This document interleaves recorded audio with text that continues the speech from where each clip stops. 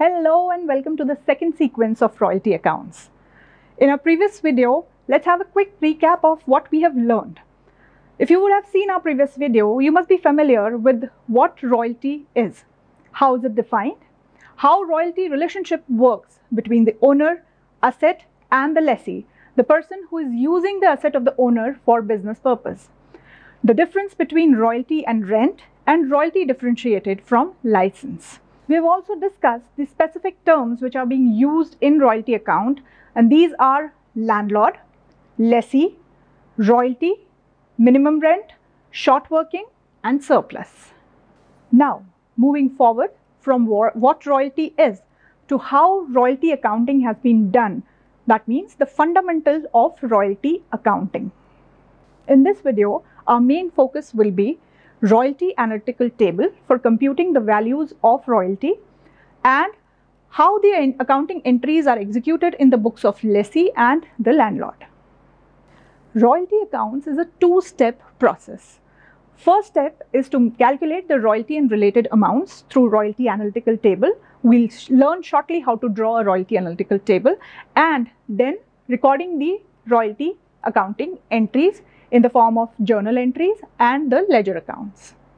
So let's begin with the stage one and that is drawing the royalty analytical table. As you all know that royalty is the amount payable by the lessee to the landlord for business use of his asset. Business use means production or sales. Any activity through which the lessee generates business revenue for himself. He pays a certain amount to the landlord periodically and in most of the questions you will find that this period is usually annual period. But in some of the cases, this periodicity is less than one year, that means half yearly or quarterly even. So we'll learn how to process the information accordingly as and when we move on with the questions, practical questions. In royalty, the asset is hired for some period of time and this time period ranges from 3 years, 5 years to 20 years or even more. So you will be provided with a situation in royalty where you will be processing the accounting information for a certain number of years. So the first logical column that we are going to make in royalty analytical table is the year. We mention the year as it is given in the question. Since the royalty is related to the yearly or annual production or sales, so the second logical column that follows is that of output. That is either production or sale. Since the royalty is paid on output or production, so we will have the third column and that is of royalty. Usually the royalty is given as a per unit value of the output. You have to compute the royalty amount by multiplying the output with the per unit value of royalty. But in some questions you may see that a definite amount of royalty is also given. Nothing to worry about, just copy that value in the third column against each corresponding year. If you remember, we have talked about a minimum rent stipulation. Minimum rent is something, is that minimum amount of royalty that protects the interest of the landlord. He is being protected against the fluctuation of the business output. So the fourth logical column that follows the royalty is minimum rent. Usually it's a constant value for the time period which is given in the question, but sometimes the data may vary also. You have to simply copy down the value of minimum rent from, from the question. So till these four columns, there is simply copying of data from the question. Our task starts from the fifth column and that is short working. You remember that we have talked about minimum rent and royalty and the difference of the two values? This is the reason of short working. For whichever year the minimum rent exceeds the royalty value, you have a situation called short working. That is nothing but the difference of or the excess of minimum rent over royalty. There is another situation also in case of royalty when royalty is more than minimum rent. As per the rent agreement, the landlord always wants the bigger piece of the cake. That means royalty or minimum rent, whichever is higher, he wants that value. But the interest of the lessee is also to be protected. A contract has to be a win-win situation for both right? So this is a situation where the royalty exceeds the minimum rent and we call this situation as surplus. So we are drawing the next column that is the sixth column which is called surplus. That is nothing but the excess of royalty over minimum rent. Just remember one thing about surplus that there is no accounting effect to this surplus that we give. surplus is only used to fill the next two column that we are going to talk about. The seventh column, which is short working recoupment, depends upon the short working recoupment condition which is mentioned in the question. Short working recoupment depends upon the amount to be recovered, amount of short working to be recovered, which is contained in column number 5 and the surplus available, which is contained in column number 6. Column number 8, which is short working unrecouped, is a very important column for the lessee and for the landlord as well. It is that amount which is to be written off from the books or which is to be dropped from the book. For the lessee, it is that amount of short working which he is not able to recover because of the expiry of the short working recovery condition. So this amount is to be dropped to PNL as he cannot recover this amount in future now. Whereas for the landlord, it is a gain. He is not supposed to repay that much of value or give that much of value of royalty, excess royalty over minimum rent to the lessee because the time period has expired. Now we are moving to column number 9 which is a very important column in terms of posting the correct entry while making the payment to the landlord. But usually you don't find this column in the book solution. But this is a very important column which shows that how much money is going from the lessee's bank account to landlord. This is calculated by comparing third or fourth column which is the royalty or minimum rent whichever is higher because the landlord is supposed to receive that amount which is higher but if something is recovered from it, that means column number 7, short working recouped. The difference of these two columns is the money which is going out from the lessee's bank account to the landlord. So let's look at the royalty analytical table. We are doing the first column which is for the year which is mentioned in the question. Second is the output which is the production or sales which is also mentioned in the question. Third is royalty amount which is either a fixed amount given the question or per unit value which is to be calculated by multiplying the per unit value with the output value. Third column is of minimum rent, which is again a constant value. Then fifth column is short working, which is the difference of minimum rent and royalty. Sixth column is your surplus column, which is nothing but the excess of royalty over minimum rent. Seventh is short working recouped and eighth is short working unrecouped. Unrecouped value of short working goes to PNL, whereas short working recouped is the value which is recovered before making the payment to the landlord. Last but not the least, ninth column, which is the payment to be made from the bank by the lessee to the landlord. So let's move on to step number two, that is processing of accounting entries for royalty. But before learning the accounting entries, just remember a few points about the royalty accounting entries.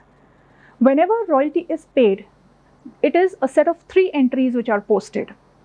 If the royalty is posted annually, so these three entries will be posted annually. If half yearly, then these three sets will be posted twice for each year and so on. So, what are these three entries that makes one set of entry for royalty? First one, royalty amount due. Second one, payment made to the landlord. And the third entry is transfer. This transfer entry is transfer to PNL. Now, the second important point for you to remember is that royalty entries are posted under three different situations. What are these situations? Situation number one, when royalty is equal to minimum rent, a win-win situation for both the lessee and the landlord. No excess, no shortfall, nothing. Royalty due, royalty to be paid to the landlord. Second situation is when royalty is less than minimum rent, the reason to worry for the lessee because there will be short working. And the third situation, when royalty is more than minimum rent, uh, a situation where the lessee has the chance to recover his previous short work. Now let's take a look at the accounts to be op opened in the books of lessee before learning the journal entries and ledger accounts. The first important account that is opened in the books of lessee is royalties account. Second is the landlord's account. Third one is short workings account. Fourth is the bank account from where the payment is made to the landlord and the fifth and the most important account is his PNL. So let's learn the journal entries under three different situations of royalty. Let us just pick up the ideal situation when royalty is equal to minimum rent. Remember, we have to post the entries in the set of three, beginning with the first point and that is royalty due. When royalty is due, the royalty amount is due towards the landlord. So the two accounts that we are going to pick up in this entry is royalties account and landlord's account. The entry for this as you can see is royalties account debit because royalty is an expenditure for the lessee. So royalties account debit to landlord. This payment is due towards whom? The landlord. He is the creditor to the lessee. Second, royalty paid to the landlord. The amount which is due towards the landlord will be paid from the bank. So there will be two accounts which, which are getting affected in this entry are, are landlord and bank. As you can see, Royal landlord's account debit because it was the liability which is being paid off. So it is landlord's account debit to bank. The money is paid from the bank. So this is the entry for royalty amount paid to the landlord. The third one is transfer entry. Royalty is a nominal account, so it should be transferred to P&L and closed for the year. So the entry that we are going to post for it is profit and loss account debit to royalties account. Let's move on to the second situation where royalty is less than minimum rent. Can you recall what, this situation is all about? It is about short working creation. So our due entry will change slightly. What was the royalty due entry in the previous case? It was royalties account debit to landlord, but now royalty is less than minimum rent, so your debit is less than credit leg. So there will be a new entrant into this entry and that was short workings account. So your royalty due entry will change slightly as royalties account debit, short workings account debit to landlord. Just remember one thing, landlord account is always created with the value of minimum rent or royalty, whichever is higher. The second entry that is payment to landlord will remain same as landlord's account debit to bank. Third entry, which is the transfer entry of royalty to PNL, also remains the same, that is PNL account debit to royalties account. Now the third situation of royalty, where royalty exceeds the minimum rent, that means the lessee has surplus in his books. Now how the surplus is adjusted? This recovery is made in the entry when the payment is made to the landlord, right? So short working recoupment is made in the second entry when the payment is made to the landlord. Let's see the changes that have come in the journal entries.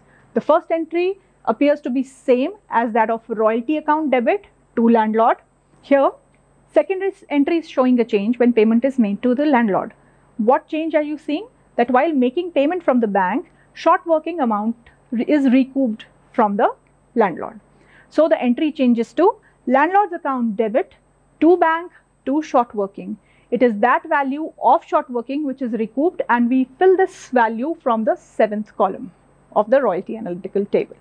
The third entry appears to be the same as P&L account debit to royalties. Now one more thing for you to remember. If you find any amount for any particular year in the eighth column, eighth column, try to recall, it is the short working unrecouped you need to post that entry eh, along with the third entry. The third entry will now change to PNL account debit, to royalties, to short workings. You can post two separate entries as well. That is PNL to royalties, the usual one, and PNL2 short working, which is the eighth column value of unrecouped short working. Unrecouped short working is that value of short working which is booked as a permanent loss and is written off from the books of account. So the important ledger accounts that we make in the books of lessee are royalties account, the landlord's account and short workings account. Now let's move on to the books of landlord where there is a slight change in the nomenclature of accounts that we were making in the books of lessee royalties account remain, continues to remain royalties account or it may become royalty receivable account. Then the landlord account will change to lessee's account. So the, the accounts which landlord will maintain will be royalty receivables or royalties account and lessee's account. Short working name change to royalty reserve or royalty suspense account. It is a contingent liability for the landlord. Then he also shows his bank account in his books and his P&L account for transferring the income which he has received in the form of royalty. Let's say the journal entries in the books of landlord in the first situation where royalty is equal to minimum rent. So what is the entry that he is going to post for royalty due from the lessee? He is going to debit the lessee because he is his debtor. He is going to pay him the royalty amount. So the entry is lessee's account debit to royalty receivables account.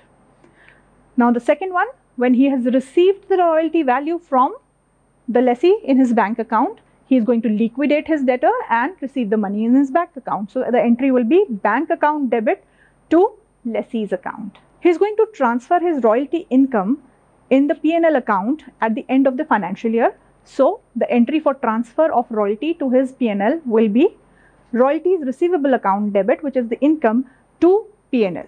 Now have you observed something while posting these three entries in the books of landlord? These three entries are simply the mirror image of what you have posted in the books of lessee. So even if you remember one of the books very well, you can easily create the book entries in the other person's books. The second situation of royalty where royalty is less than minimum rent, what the lessee was doing, he was creating short workings account. But short working nomenclature has changed to royalty reserve or royalty suspense account in the books of landlord. So the entry that you are going to post for the situation when there is a short working, when the royalty amount is due. So the entry is lessee's account debit to royalties account to royalty reserve account. The royalty reserve account is a contingent liability which the landlord has to create and this account is written off whenever the payment is made for short working recoupment to the lessee. The entry for royalty received remains the same that is bank account debit to lessee. Transfer entry appears the same as that of the previous set and that is royalty receivables account debit to P&L. Now the third and the last situation when the royalty is more than minimum rent and there will be a short working recoupment. Alright, so there is a change in the second entry and the other first and the last entry remain same. Let's have a look how it is being posted. Now let's have a look at the third and the final situation where the royalty exceeds the minimum rent. Now this is a situation where the lessee is going to recover his previous short workings from the landlord and the landlord has to write off the royalty reserve or royalty suspense account for the amount of short working recoup. There's a change in the second entry while the first and third entry remains the same. Let's have a look. The first entry of royalty due will be same lessee's account debit to royalty receivables account. The change in the second entry will be when the lessee will make the payment in the bank, the amount will be lesser than that of the royalty. The difference amount is that amount which is shown in the seventh column that is short working recouped.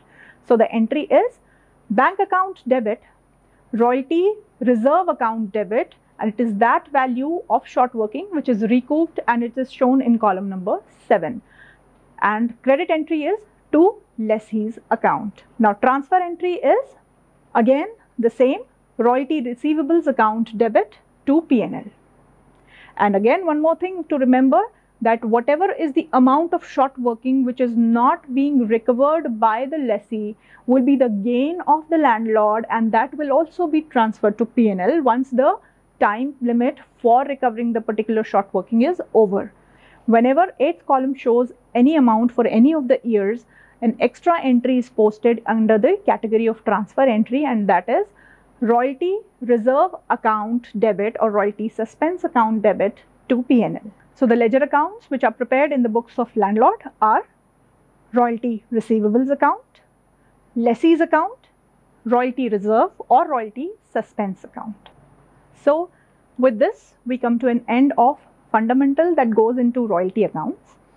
In the next video we'll be talking about the short working recoupment conditions and we'll be taking up the numerical questions along with it. Hope you will find this video helpful for you. All the best.